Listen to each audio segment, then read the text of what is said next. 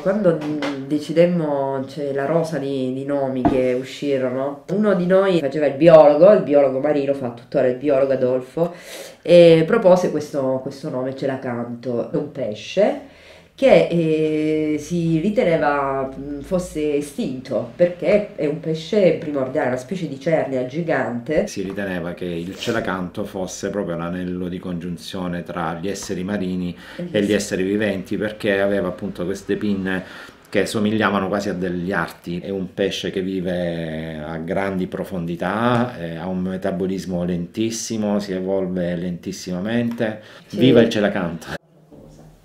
Nonostante la ragionevolezza di Il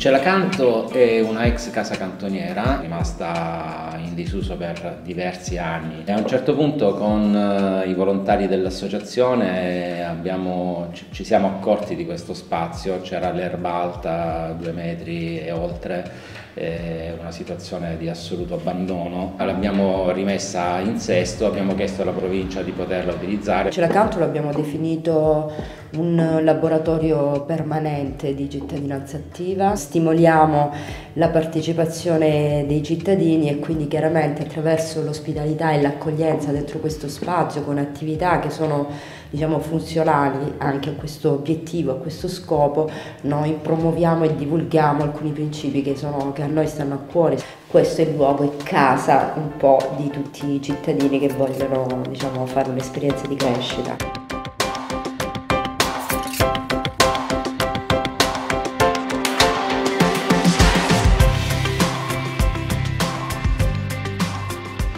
2012 abbiamo partecipato ad un bando, l'avviso pubblico giovani per la valorizzazione dei beni pubblici e quindi abbiamo realizzato questo progetto di valorizzazione di questo immobile eh, proponendo una serie di attività che erano attività di, di residenze laboratoriali per, il, per, fare dei laboratori di, del riuso del legno eh, quindi abbiamo ospitato qui dei ragazzi che sono venuti a progettare degli elementi di arredo perché dopo la ristrutturazione noi volevamo arredare la struttura con eh, appunto il, la partecipazione delle persone che utilizzavano lo spazio. È solo attraverso la cura che ci si responsabilizza rispetto all'uso di un bene. Se volevamo spingere su, una, su un'idea di coabitazione, di condivisione dello spazio, dovevamo necessariamente eh, diciamo, inserire questa azione di recupero e riqualificazione del, del bene tra eh, gli elementi essenziali di questo percorso.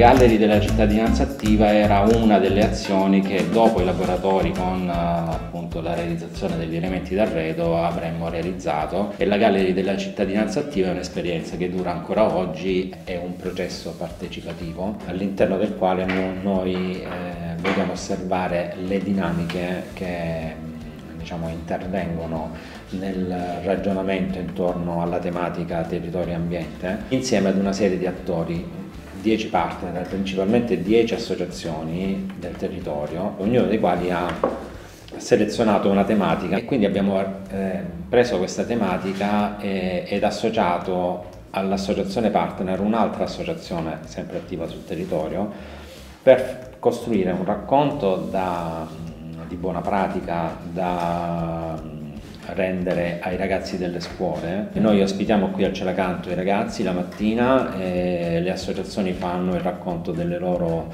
eh, delle loro esperienze sostanzialmente. Si mettono in rete eh, tutta una serie di risorse, un po' come se fosse diciamo, il concetto di, di rete online, no? cioè, noi lo facciamo invece attraverso un ritorno alle relazioni vere, autentiche. E la gallery si, mm, eh, diciamo, si completa con uh, un incontro tematico insieme alla comunità per ragionare appunto su, su, sulla tematica scelta.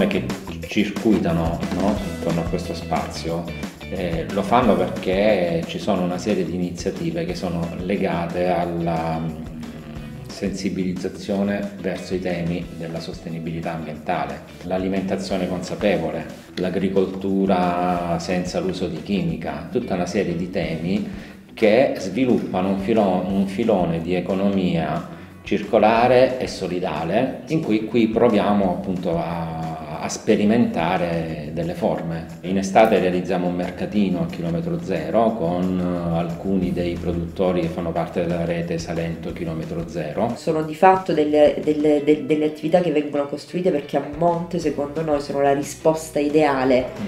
no? Alla, cioè come se fosse diciamo, una politica di prevenzione. Quest'Italia che cambia non puoi fermarla ormai, quest'Italia che cambia siamo noi.